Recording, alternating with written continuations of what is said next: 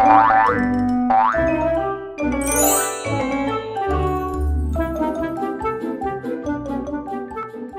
again, it's Ingrid with a more scissors tutorial. Don't worry, I'm going to get to the magic scissors. You're going to love that part.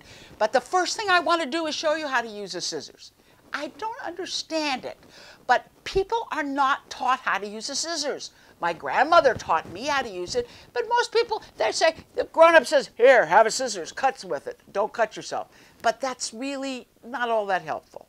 The motion of a scissors for cutting is not this. The motion is this. You go along a line a little at a time. If you take the scissors and cut it all the way down to the point, it's very hard to make a nice smooth edge. So the way scissors cut, whether you're cutting a straight line or a circle, you cut not all the way. You open the scissors up and you slide it along the direction you're cutting. And you cut not all the way. Slide it along, cut, slide it along, cut. If you show young people how to do this, they will be happier with scissors. Give it a try and please pass this on. Important information. Now, I spent a lot of the last tutorial talking about the set. It really is the key to cutting most materials. And uh, this one, I purposely, I took a screwdriver and I really dismembered the set. And now it's supposed to not be able to cut thread.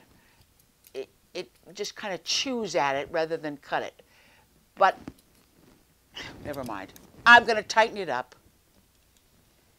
And this is the way you can take all the scissors, those crap, those really scissors that frustrate you at home, and you just try this. Just try tightening up the set and watch how it cuts so much easier.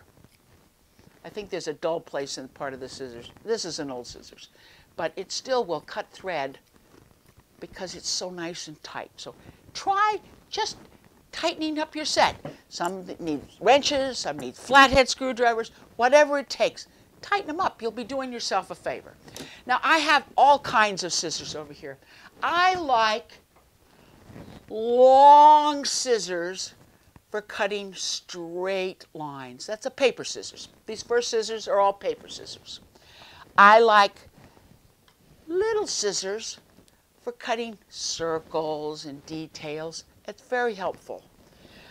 Now, this is a pear.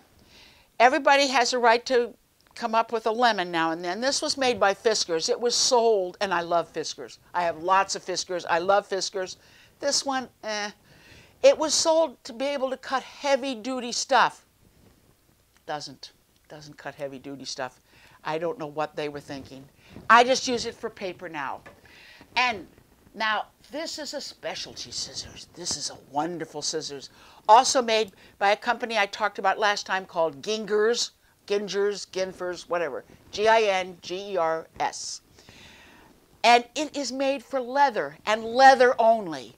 Not only is the set made for leather, but you can loosen the set for thick leather, tighten it up for thin leather. But the way the blades attack each other, works for leather. There, there's all kinds of specialty scissors out there. I once had my hand on a poultry scissors that was used in Tyson's chicken factories. Man, that was a beauty. But the whole way the set went at it, it just cut chicken legs like butter. It was amazing. So different kinds of scissors really do different kinds of things. But now for the magic scissors. This is a wonderful scissors, made by Wiss. And of all things, it's sold in hardware stores, not in fabric stores, not in Michael's, not in craft fairs. It's, it's, it's a hardware scissors. This one I borrowed. This is from the great, wonderful Barry Gordimer. It's brand new. I just took it out of its package. So I've never used it. It's never cut anything. And I thought, he tells me it, when it's new, it cuts fabric. I'm going to give it the ultimate fabric test. I don't know if this is going to work. Look at that. It cuts just like my expensive, wonderful fabric scissors when it's new. So you could buy this. You could tie a piece of fabric on it and say, that's for fabric only, don't use it for anything else. And if you have trouble remembering, see the fabric and think of me going, fabric only. Okay, so this scissors, if you had a number of them, could cut everything. I have, these are my thick, it's the same scissors, thick foam. I can cut thick foam like like nothing. But it won't cut fabric. It, it just kind of chews the, it, it won't, even, it won't even, doesn't even chew the fabric. Because I have taken a wrench and I have adjusted the set till it cuts thick, thick stuff really beautifully. Easy, comfortable handle. This is, and it's not even expensive. This is a great scissors. You, I don't have stock in these. I wish I did. You should all own a couple pairs of these. Now, so that's my thick foam, my, wrong scissors, medium foam, and my, uh, my hand is tired foam. This has a, is spring loaded. It's the same, everything. It's the same blade. It's the same uh, you can adjust the ten, and it's really nice when I, my poor old hands are tired. I use this scissors. That's my fatigue scissors. So, but they're all by Wiss, and look at that. It could even be a fabric scissors. As my French grandmother would say, incroyable.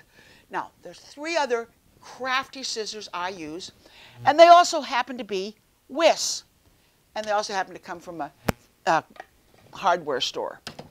These are called in the hardware store utility shears.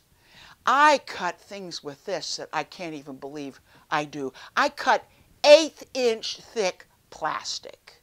I cut sole, uh, the kind of leather you use on the bottoms of shoes, sole leather. Do you know how thick and stiff that stuff is? This cuts it, no big deal. There's a material here. It's HD, high density EVA. This cuts it, no big deal. Cuts it like crazy. Sometimes, again, if it's cutting something small, I will use these.